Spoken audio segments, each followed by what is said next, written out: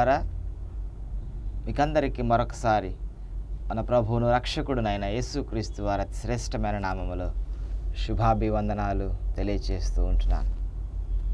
ప్రియులరా దేవుని అత్యధికమైన కృపను బట్టి మనమందరము ఆయన మనెడలు చూపుతూ ఉంటున్న ఆ ప్రేమ ఆ కరుణ ఆ వాత్సల్యతను బట్టి సజీవులముగా ఈ భూమి మీద జీవనం సాగిస్తూ ఉంటున్నాం. చాలాసార్లు మనం అనుకుంటాం మన బలమని మన ఘనమని మన ఆరోగ్యమని. మనల గురించి మనం చెప్పుకుంటూ నేను ఇలా ఉండటానికి ఇదిగో ఫలాని నా పట్టుదల కారణం లేక ఫలాని నాది కారణమని. ఇవన్నీ కొంత సరియే కానీ అన్నిటికీ మించి ఆయన కృప ఆయన పోసిన ఊపిరి. మనం చాలా విషయాలు అడుగుతాం దేవుణ్ణి. కానీ మనము అడగనివి ఆయన అనుగ్రహిస్తూ ఉంటున్నాడు అన్న సత్యాన్ని మనం మర్చిపోతూ ఉంటున్నాం. ప్రతిదినం ఆయన మనకు ఊపిరి పోస్తూ ఉంటున్నాడు కాదా? ఎంతమంది అడుగుతుంటున్నాం ప్రతిదినం ఉదయం లేవగానే దేవా నాకు ఈ దినం ఊపిరి కావాలయ్యా. నీ ఊతం కావాలయ్యా నీ కాపుదల కావాలయ్యా.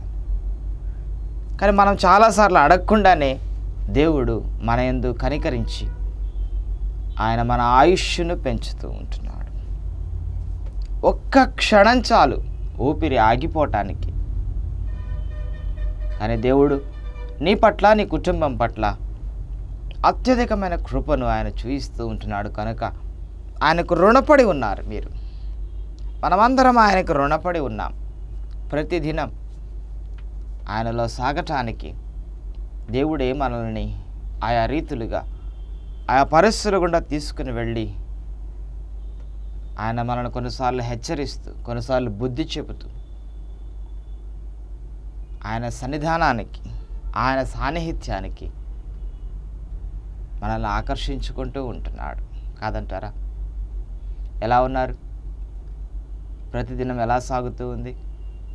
ఈ భూ సంబంధంగా ఉంచిన మీ ఆలోచనలు కొంచెం కట్టిపెట్టి అప్పుడప్పుడు అదిగో పరసంబంధంగా ఆలోచన చేయటానికి మీ దినచర్యలో కొంత సమయాన్ని కేటాయించండి ప్రియులారా. మన ఈ బిజీ లైఫ్లలో ఇలానే ఉండిపోతాం. ఇలా చూస్తూ చూస్తూనే మన జీవనం గడిచిపోతుంది.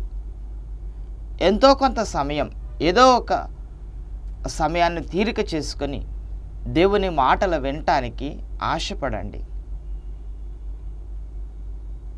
అవి ఎంతో తృప్తినిస్తాయి. ఆత్మీయ జీవితానికి నెమ్మదినిస్తాయి. ఎంతో కొంత సమయం ఆయన పాద సన్నిధిలో గడపటానికి అలవాటు చేసుకోండి. ఈ అలవాటు తప్పితే మనం కూడా కొన్నిసార్లు తప్పిపోతాం.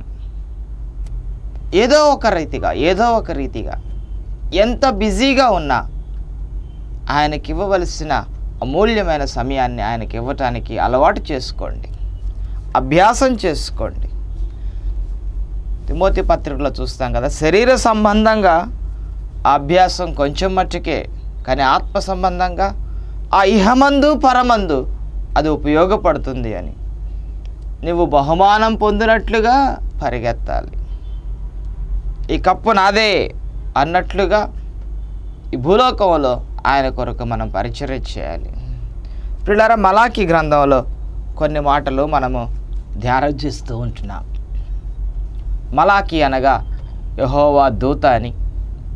ఇందులో ఉంటున్న కొన్ని మాటలు మనము ఆలోచన చేస్తూ ఉంటున్నాం. మలాకి గ్రంథాన్ని ఒకసారి మీరు త్రిప్పినట్లయితే అందులో కనపడుతూ ఉంటున్న ఈ నాలుగు అధ్యాయాలని ఆ మూడు రకాలుగా మనము విభజించుకోవచ్చు. దేవుని ప్రజలుగా ఉంటున్న ఇజ్రాయేల్ జనాంగం దేవుని జనాంగంగా దేవుడు వారిని ఏర్పాటు చేసుకున్నాడు ఎన్నిక చేసుకున్నాడు. నా ప్రజ అని. వారికి ఎన్నో ఆ గొప్ప ఆధిక్యతలు ఇచ్చాడు. ఈ భూలోకంలో ఈ నేటికి ఇజ్రాయెల్ దేశాన్ని మీరు గమనించినట్లయితే ఈ భూ ప్రపంచంలో ఉంటున్న వారందరికంటే కూడా మిన్నయైన స్థానంలో ఈ నేటికి వారికి అట్టి ఆధిక్యతలు కొనసాగుతూ ఉంటున్నాయి. పాత నిబంధన కాలంలో దేవుని జనాంగమైన ఇజ్రాయేలులు ఎలాగో ఈ నేటి దినాలలో సంఘ దినాలలో ఆ నీవు నేను ఆయన జనాంగంగా ఎంచబడుతూ ఉంటున్నాం. యేసు క్రీస్తు రక్తధారలలో కడుగబడిన ప్రతి బిడ్డ సంఘములో చేర్చబడి దేవుని బిడ్డగా దేవుని జనాంగంగా పిలువబడుతూ ఉంటున్నారు. ఇది యేసు క్రీస్తు ద్వారా మనకు లభించిన ఆధిక్యత. మొదటి అధ్యాయం మొదటి ఐదు వచనాలు. దేవుని జనాంగం యొక్క ఆధిక్యత కనపడుతూ ఉంది.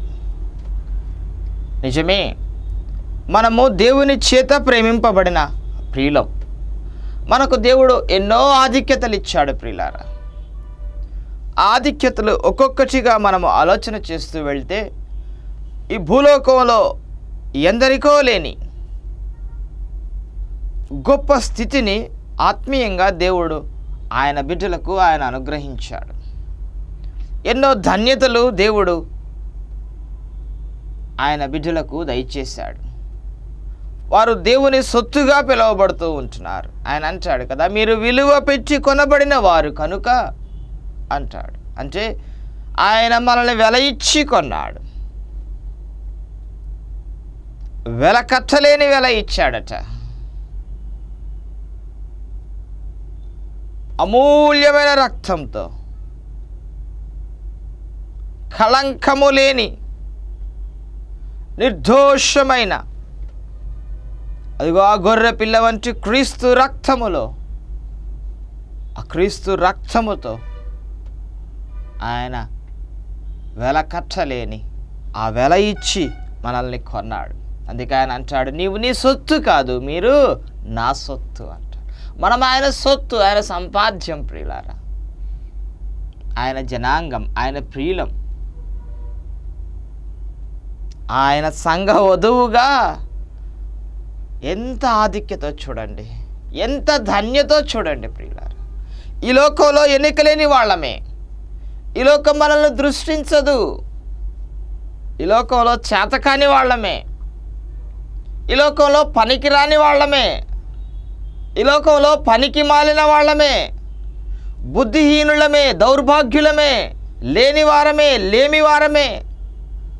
లోక సంబంధంగా మనకి ఎట్టి ఆధిక్యత లేదు ప్రియులారా కానీ ఏసయ్యను నమ్ముకోవటం ద్వారా ఆయన జనాంగంగా తీర్చబడటం ద్వారా దేవుడు ఎంత గొప్ప ఆధిక్యతనిచ్చాడో తెలుసా? ఈ లోకంలో ఉన్న జ్ఞానవంతులను సిగ్గుపరచుటకు వెర్రివారమైన నిన్ను నన్ను ఆయన ఏర్పాటు చేసుకున్నాడట తెలుసా?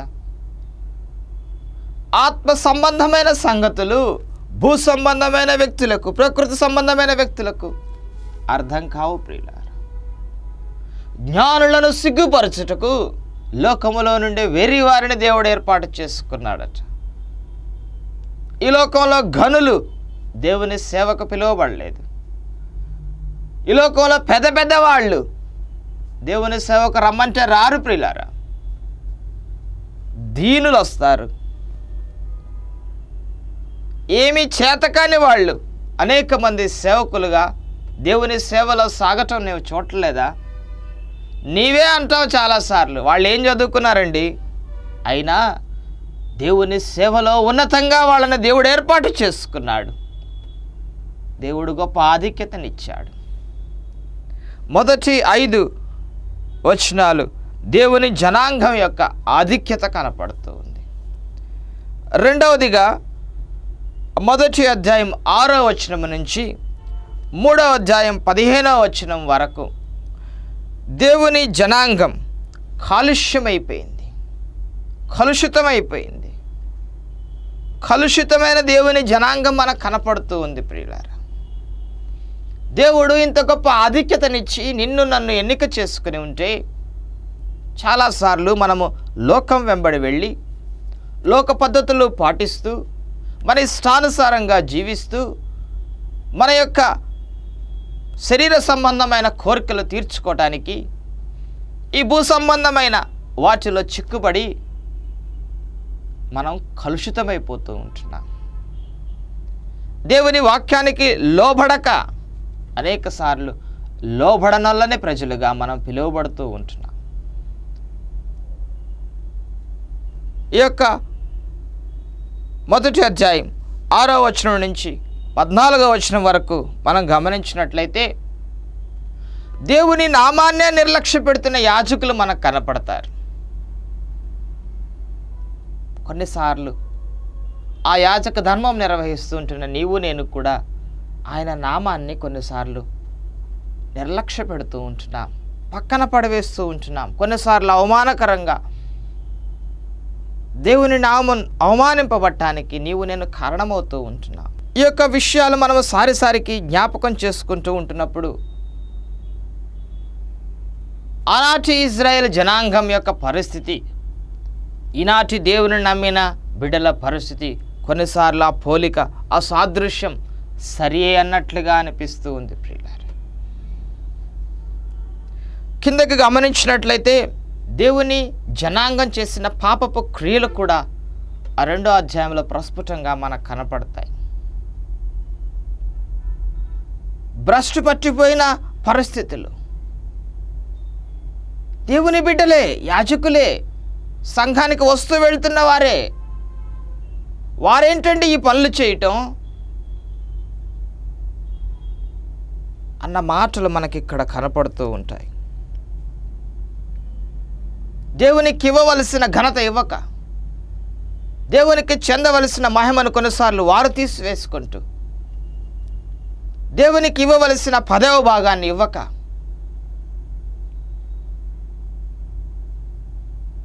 దేవునికి చెందవలసిన ఆ ఘనతను ఆయనకు ఆరోపించక. కలుషితమైపోయిన దేవుని జనాంగం మనకు కనపడుతూ ఉంది.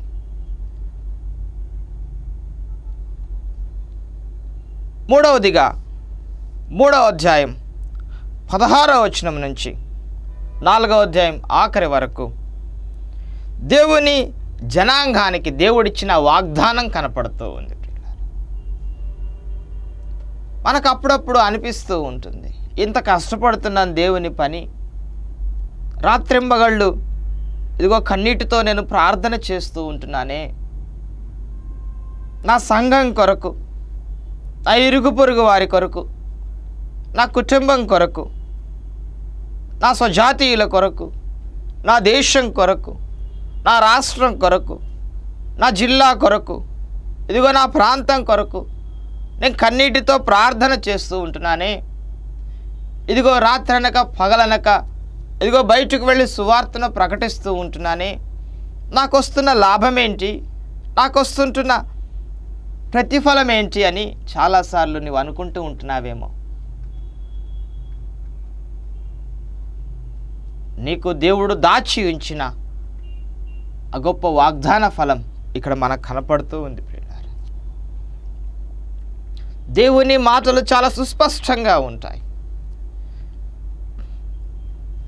లోకాన్ని చూసినప్పుడు దేవుని నమ్మని వారిని చూసినప్పుడు వారెంతో సంతోషంగా ఉన్నట్లుగా హాయిగా ఉన్నట్లుగా నెమ్మదిగా ఉన్నట్లుగా ఈ లోకంలో ఉంటున్న ప్రతి సుఖాన్ని అనుభవిస్తూ ఉంటున్నట్లుగా నీకు అనిపిస్తూ ఉంటుంది. నీవేమో అన్ని కట్టడి చేసుకుంటావు. ఆ టీవీ జోలికి వెళ్ళవు. లేకపోతే మరొక దాని జోలికి వెళ్ళవు. ఈ పని చేయకూడదు. అన్ని ఆంక్షలే అన్ని కట్టుబాట్లే. కానీ ఇన్ని చేస్తూ ఉంటున్నా నీ కుటుంబమేమో ఎదిగినట్టుగా నీకు అనిపించదు. ఒకవేళ ఆత్మీయంగా ఎదుగుతున్న లోకం గుర్తించదు. కానీ బయట వారేమో ఆ రకరకాలుగా ఉన్నతంగా వెళ్ళిపోయినట్టు. మంచి మంచి బిల్డింగ్లు కట్టుకొని ఆ ఒకటికి రెండు వాహనాలు కలిగి ఈ రీతిగా సాగుతూ ఉంటే నీవేమో ఆ ఇంకా ప్రార్థనలు ప్రార్థనలు అంటూ. ఇక వారిని వీరిని పోగేసుకొని కన్నీటి ప్రార్థనతో నీవు గడుపుతూ ఉంటావు. దీని ఫలితం అంతిమ ఫలితం ఏంటో ఇదిగో ఈ భూలోకంలో ఇష్టానుసారంగా బ్రతుకుతున్న వారి గమ్యం ఎలా ఉంటుందో అంతం ఎలా ఉంటుందో దేవుని కొరకు కష్టం అనుభవించిన వారికి ప్రతిఫలం ఎలా ఉంటుందో ఆ దినాన తేటపరుస్తారన్న సత్యం. ఇదిగో ఈ ఆఖరి అధ్యాయంలో లెక్కించబడి ఉంది. నియమింపబడిన దినం ఒకటి ఉన్నది అని నీవు చేసిన ప్రతి పనిని బట్టి ఆ దినాన లెక్క అప్ప చెప్పవలసిన వాడివిగా నీవు ఉన్నావని ప్రతి వ్యక్తి ఉన్నారు అని ఆ ధవళ సింహాసనపు తీర్పు ఓ ఆ దినాన ప్రతి గ్రంథం ప్రతి వ్యక్తి యొక్క గ్రంథం విప్పబడుతూ ఉంటుంది. అవి ఆ పనులన్నిటిని గురించి తీర్పు దేవుడు తీరుస్తాడు. ఆ దినాన నీకు అర్థం అవుతూ ఉంటుంది. ఈ దినాన అర్థం కాదు. ఆ దినాన నీవు దేవుని కొరకు చేసిన సేవ ఏంటో నీవు పడ్డ కష్టానికి ఫలితం ఆ దినాన చూస్తావు ప్రియులారు. నియమింపబడిన దినం. మూడు శ్రేష్టమైన అంశాలు ఈ మలాకి గ్రంథంలో మనకు కనపడతాయి ప్రియులారు. ఇది నాన్న ఈ మూడో అధ్యాయం పదమూడవ వచనం నుంచి కొన్ని మాటలు ఈ కొన్ని క్షణాలు మనం ధ్యానం చేద్దాం. దయచేసి అటు ఇటు తిరగద్దు. దేవుని మాటలు వినటానికి ఆసక్తి చేయించండి కూర్చుని ఆలకించడానికి ప్రయత్నం చేయండి. దేవుడు నీతో మాట్లాడాలని నీ కుటుంబంతో మాట్లాడాలని ఆశపడుతూ ఉంటున్నాను. మూడో అధ్యాయం పదమూడవ వచనం. యహోవా సెలవిచ్చినది ఏమనగా నన్ను మూర్చి మీరు బహు గర్వపు మాటలు పలికి నిన్ను గురించి ఏమి చెప్పితేమని మీరు అడుగుదురు? దేవుని సేవ చేయట నిష్ఫలమనియు. ఆయన ఆజ్ఞలను గైకొని సైన్యములకు అధిపతిగా యహోవా సన్నిధిని. మనము దుఃఖాక్రాంతులుగా తిరుగుట వలన ప్రయోజనం ఏమనియు?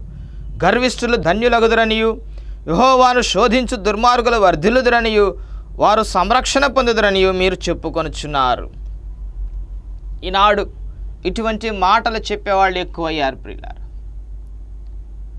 ఆనాడు మనకి ప్రవక్త ద్వారా దేవుడు పలికించిన మాటలు. ఈనాడు మనకు సరిపోయిన మాటలుగా కనపడుతూ ఉంటున్నాయి. నీవేమో దేవుని సేవ నిమిత్తం తాపత్రయపడుతూ ఉంటున్నావు. ఆశపడుతూ ఉంటున్నావు. ఇదిగో దేవుని లేఖనాలు పరిశోధిస్తూ దేవుని సన్నిధిలో సమయాన్ని గడుపుతూ ఇదిగో కొంతమందినైనా రక్షించాలని ఆశ కలిగి తిరుగుతూ ఉంటే నీ ప్రక్కనున్నవారు. మీ ఇంట్లో ఉన్నవారైనా అయి ఉండొచ్చు. నీ స్నేహితులైనా అయి ఉండొచ్చు. నీ శ్రేయోభిలాషులుగా చలామణి అవుతున్న వారైనా అయి ఉండొచ్చు. వారు ఏం చెబుతారో తెలుసా? ఎందుకయ్యా ఈ బైబిల్ పట్టుకొని తిరుగుతున్నావు? ఎందుకమ్మా రాత్రులు పగులు ఆ చర్చి అని ఆ వాక్యం అని తిరుగుతావు? ఏమన్నా ఉపయోగం ఉందా? నీ కుటుంబంలో ఏమైనా ఎదుగుదల ఉందా? నువ్వేమో ఏడుస్తూ తిరుగుతూ ఉంటున్నావు? ఇదిగో చర్చి చర్చి అనుకుంటూ ఇదిగో వాక్యం వాక్యం అనుకుంటూ ఇరవై నాలుగు గంటలు మిగతావన్నీ పక్కన పెట్టి దేవుని సేవ అంటూ దేవుని పరిచర్య అంటూ తిరుగుతూ ఉంటున్నావు. ఏమన్నా ఉపయోగం ఉందా? ఇదిగో వాళ్ళని చూడు. ఇదిగో వీళ్ళని చూడు. నీకులాగేమన్నా చర్చిలోనే ఉండి దేవుని సేవలోనే ఉండి ఏమన్నా పనులు చేస్తున్నారా? ఎప్పుడో వీలున్నప్పుడు వస్తున్నారు వెళ్ళిపోతున్నారు. వాళ్ళు చూడు ఎంత బాగున్నారు. ఆ మాటలు కనపడితే దేవుని సేవ చేయటం నిష్ఫలమని చెబుతారట. దానివల్ల ఫలం లేదండి లేరా? ఇటువంటి మాటలు చెప్పేవారు మన మధ్య లేరా?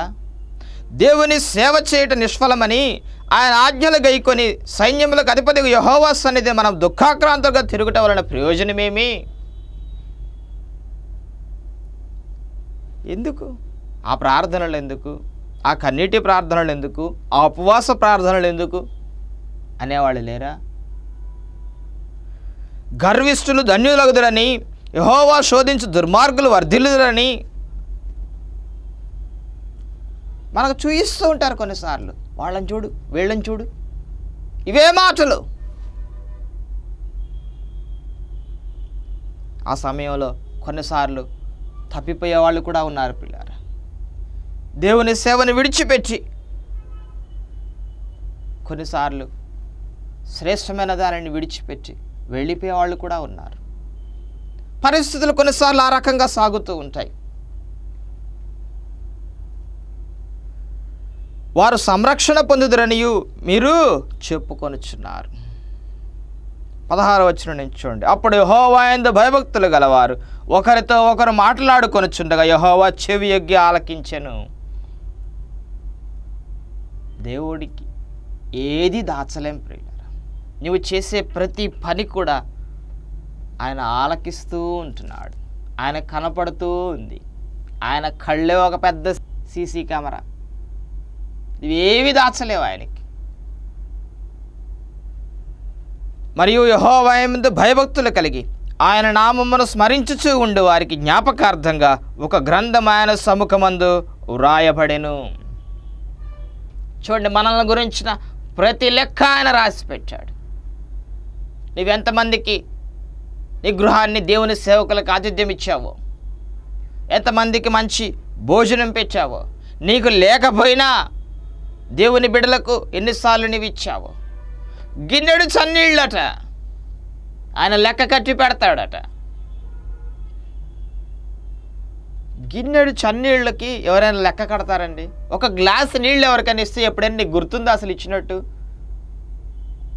కానీ దేవుని పరిచర్యలో నువ్వు చేసిన ప్రతిదీ కూడా ఆయన లెక్క కట్టి పెట్టాడు. He has an account for that ఒక పుస్తకం ఉంది నీ కొరకు. రక్షింపబడిన దినం నుంచి ఈ దినం వరకు నీవు చేసిన ప్రతి పనికి నీవు పలికిన ప్రతి మాటకు నీవు జరిగించిన ప్రతి క్రియకు ఒక పుస్తకం ఉంది.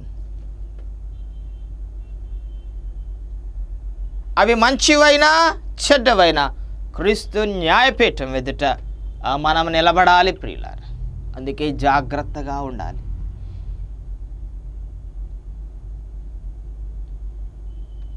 మన ఇష్టానుసారంగా మనం బ్రతకటానికి వీలు లేదు. మనం ఆయన సొత్తు. పదిహేడవ వచ్చిన నేను నియమింపబోవు దినము రాగా ఈ మాట చాలా జాగ్రత్తగా వినండి. నియమింపబోవు దినము రాగా వారు నావారై నా స్వకీయ సంపాద్యమై ఉందరు. తండ్రి తన్ను సేవించు కుమారుని కనికరించినట్లు నేను వారిని కనికరింతునని సైన్యములకు అధిపతి హోవా సెలవిచ్చుచున్నాడు. ఆహా ఆ దినము రాగా ఆయనదిగో నా బిడ్డలండి అని ఆయన మీ పట్ల ఆయన గొప్ప సంతోషంతో మిమ్మల్ని స్వీకరిస్తాడు. పద్దెనిమిది వచ్చిన అప్పుడు నీతి గల వారెవరో దుర్మార్గులు ఎవరో దేవుని సేవించు వారెవరు ఆయనను సేవించిన వారెవరెవరు? మీరు తిరిగి కనుగొందరు. ఆనాడు బయటపడుతుంది. ఈనాడు బయటపడదు ప్రియుల అసలు నిజంగా సేవ చేసిన వాళ్ళు ఎవరో ఆ రోజు బయటపడుతుంది. కొన్నిసార్లు మనం సేవ చేస్తున్నాం. కానీ చాలాసార్లు అది నిజమైన సేవ కాదు. డాంబికంగా కనపరచడానికి. ఇతరుల మెప్పు కోసం మన స్వార్థం కోసం స్వలాభం కోసం కొన్నిసార్లు సేవ చేస్తుంటాం. ఆ దినాన తేటపరచబడుతుంది. నాలుగో అధ్యాయం. ఏలైనగా నియింపబడిన దినం వచ్చుచున్నది. కొలిమి కాలునట్లు అది కాలును. గర్విష్ఠులందరూ దుర్మార్గులందరూ కొయ్య కాలువలే ఉందరు. ఒకనికిని వేరేనను చిగురేనను లేకుండా రాబోవు దినం అందరినీ కాల్చివేయనని సైన్యములకు అధిపతి యెహోవా సెలవిస్తున్నాడు అయితే నా నామమందు భయభక్తులు గలవారకు మీకు నీతి సూర్యుడు ఉదయించును. అతని రెక్కలు ఆరోగ్యం కలుగు చేయను గనక మీరు బయలుదేరి క్రొవ్విన దూడలు గంతులు వేయినట్లు గంతులు వేయుదురు. నేను నియమింపబో దినమున దుర్మార్గులు మీ పాదముల క్రింద ధూళి వలె ఉందురు. మీరు వాడిని అనగదొరక్కుదురని సైన్యములకు అధిపతి యహోవా సెలవిచ్చినాడు. ఇప్పుడు అర్థమైందా? ఈ దినాన గర్విస్తులుగా దుర్మార్గులుగా శ్రామణి అవుతున్నవారు. ఆ దినాన మీ కాళ్ళ క్రింద పెడతాడట.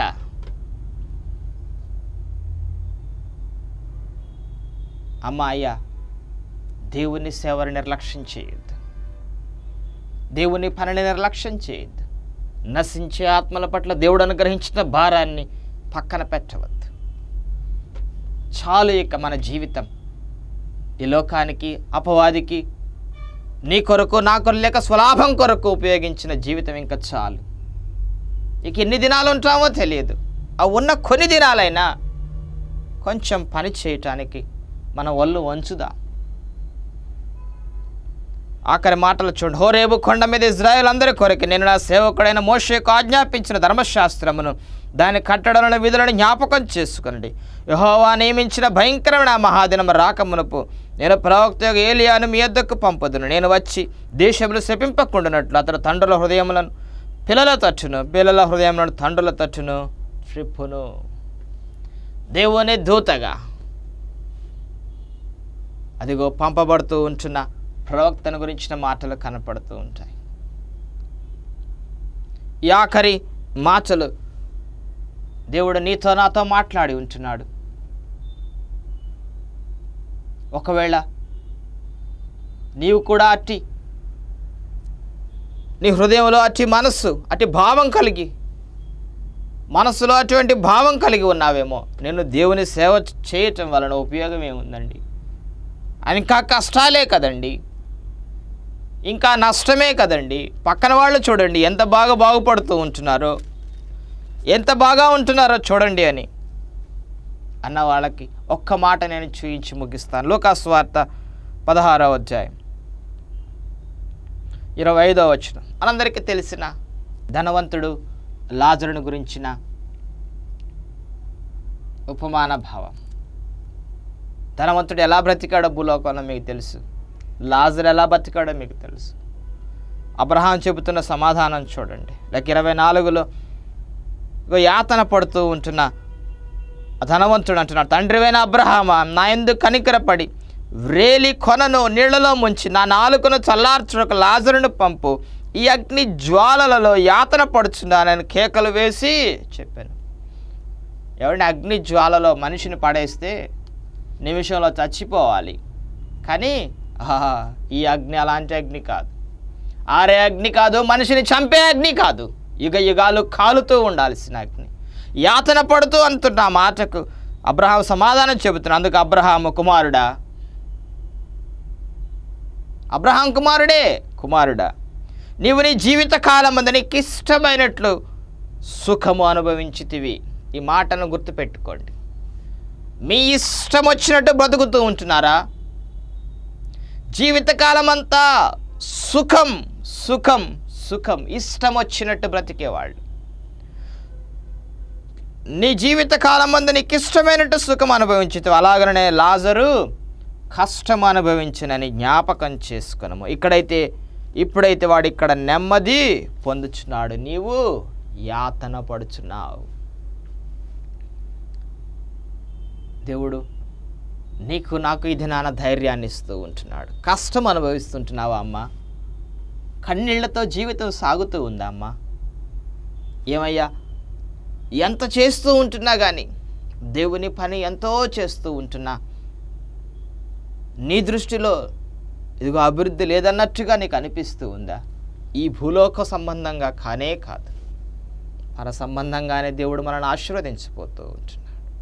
తలలో ఉంచుదాం. ప్రేంగల్ తండ్రి దయగల దేవా మీరు అనుగ్రహించిన అమూల్యమైన సత్యాలకై స్తోత్రాలు వందనాలు చెల్లిస్తూ ఉంటున్నాం. విన్న ప్రతి బిడ్డ మనస్సును మీరు తేటపరచండి తేలికపరచండి అయ్యా. ఓ తండ్రి ఈ భూలోకంలో కొన్నిసార్లు మీ పరిచయలో మేము కష్టం అనుభవిస్తూ ఉంటున్నాం. అయా సుఖానికి నోచుకొని ప్రజలుగా ఉంటూ ఉంటున్నాం. అయినా అవునాటి గొప్ప సత్యాన్ని మీరు మాకు తేటపరిచారు. మేము పరసంబంధులమని మీ బిడ్డలమని మీ ప్రియులమని. తండ్రి మాకు సిద్ధపరిచినవన్నీ పరసంబంధమైనవని. తండ్రి మీరు మాకు బోధపరిచినందుకై స్తోత్రాలు. మీ పరిచర్యలు అంతకరకు అంతకంతకు మమ్మల్ని అభివృద్ధి చేయండి. ప్రతి కుటుంబాన్ని మీరు ఆశీర్వదించమని. ఏసునామను ప్రార్థిస్తూ ఉంటున్నాను తండ్రి. అమెన్ పిల్లారా దేవుడు మిమ్మల్ని మీ కుటుంబాలని బహుగా ఆశీర్వదించునుగాక.